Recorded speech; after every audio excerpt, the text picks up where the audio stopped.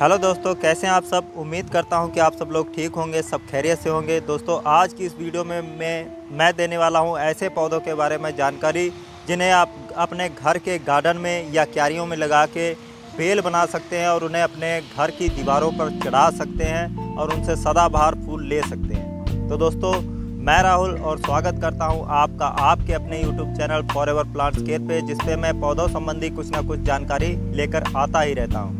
तो दोस्तों, अगर आप मेरे चैनल पर नए हैं तो चैनल को सब्सक्राइब कर लीजिएगा। इसके अलावा दोस्तों, मेरी वीडियो में अंत तक बने रहिएगा। तो दोस्तों, चलते चलते हैं, देखते हैं वो ऐसे कौन कौन से पौधे हैं जिन्हें हम अपने घर में बेल के रूप में लगा सकते हैं।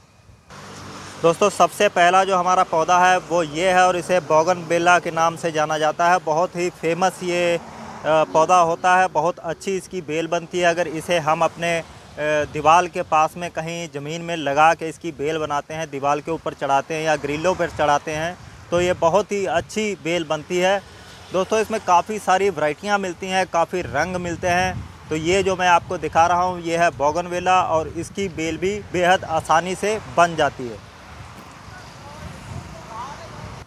दोस्तों, अगला जो पौधा हमारा है, वो ये है, उसे थीमा बेल के नाम से जाना जाता है और इसमें एक पौधे में डबल कलर का फूल लगता है। देखिए, एक तरफ़ ये पिंक लगा हुआ है और दूसरी तरफ़ ये वाइट खिला हुआ है। देखिए, एक ही पौधे में दो तरह के फूल लगते हैं और इसे भी बेहद आसानी से अपने गार्डन की क्यारी में लगा के हम बेल बना सकते हैं दीवार पर चढ़ा सकते हैं, ग्रिलों पर चढ़ा सकते हैं। बहुत ही शानदार फूल लगते हैं दोस्तों इसमें। वहीं दोस्तों, बात करें अगले पौधे की तो अगला जो हमारा पौधा है, बेल वाला, वो है ब्लीडिंग हार्ट का पौधा और इसमें वाइट और रेड कलर के फूल लगते हैं गुच्छों में, जैसा कि आप देख रहे हैं। अभी ये वाइट है, अभी पूरा फूल खिला नहीं है, इसके अंदर रेड कलर की एक टिप्पणी सी बनती है, जो इसको बहुत ही ज़्यादा खूबसूरत बना देती है इसके फूल को, और इसकी भी बेल बेल बहुत ही शानदार बनती है, इसे भी आप अपने घर की क्यारियों में लगा के दीवार पे चढ़ा सकते हैं।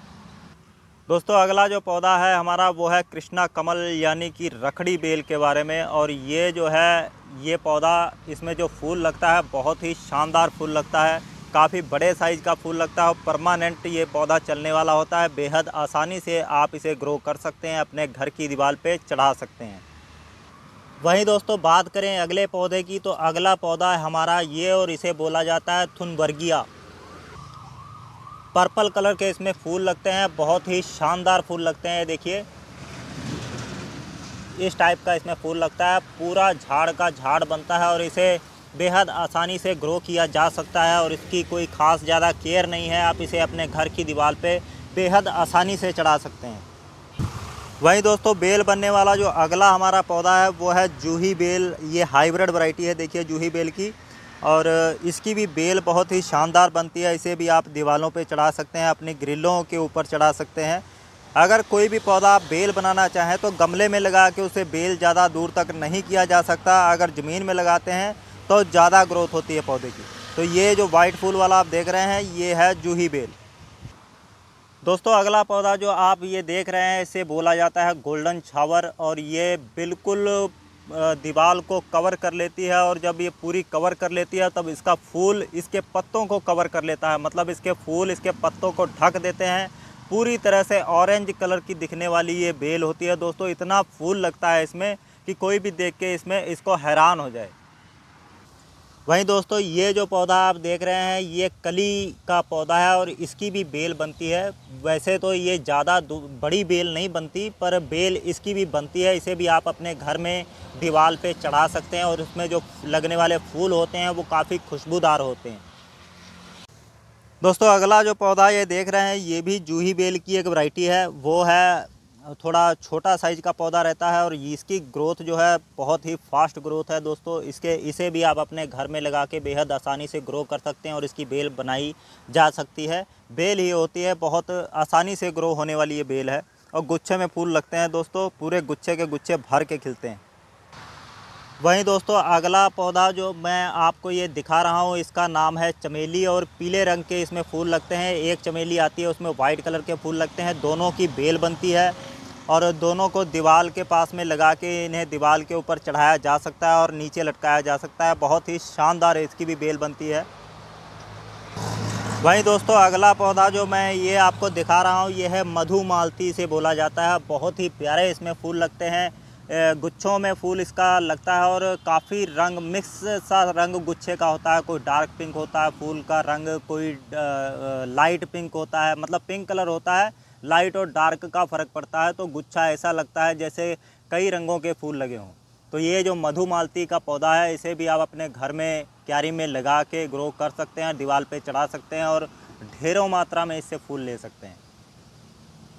वहीं दोस्तों बात करें अगले पौधे की तो ये जो पौधा आप देख रहे हैं, ये टिकोमा बेल का पौधा है और इसमें ऑरेंज कलर के फूल लगते हैं। देखिए, मैंने ये नीम के पेड़ के ऊपर चढ़ा रखी है और बहुत ही आसानी से ग्रो होने वाली है। गुच्छे में इसमें ऑरेंज कलर के फूल लगते हैं और इसके इस तरह के पत्ते हैं, देखिए।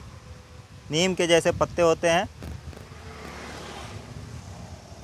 कभी ना ख़राब होने वाली बेल है, बहुत ही फास्ट ग्रोथ है, कहीं पे भी इसे ग्रो किया जा सकता है।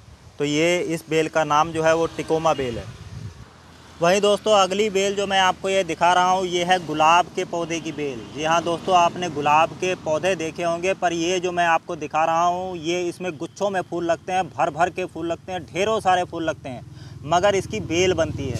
इसे दीवार के ऊपर चढ़ाया जाता है या ग्रिलों के ऊपर चढ़ाया जाता है।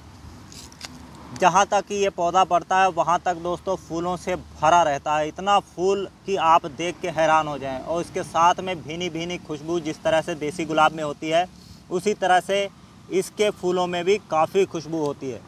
तो दोस्तों ये जितने भी पौधे मैंने आपको बताए इन्हें बे, बेहद आसानी से आप अपने घर की गार्डन की क्यारियों में लगा के दीवार पे चढ़ा सकते हैं और इनकी बेल बना सकते हैं। परमानेंट चलने वाले, कभी ख़राब ना होने वाले ये पौधा है। एक बार आप इन्हें लगा लें अपने गार्डन की क्यारियों में तो आप सिर्फ़ इनकी कटाई करते रहें, इन्हें शेप देते रहें। परमानेंट आपके घर में ये बने रहेंगे, सदाबहार चल, चलते रहेंगे। तो दोस्तों, उम्मीद करता हूँ कि मेरे द्वारा दी गई ये बेलों के पौधे के बारे में जो जानकारी है, आपको अच्छी लगी होगी। अगर मेरी वीडियो अच्छी लगे तो वीडियो को लाइक कीजिए, शेयर कीजिए उन लोगों तक। गार्डनिंग करना जिनका शौक़ है। इसके अलावा दोस्तों, अगर आप मेरे चैनल पर नए हैं तो चैनल को सब्सक्राइब कर लीजिएगा। मिलते हैं अगली वीडियो में। तब तक के लिए धन्यवाद।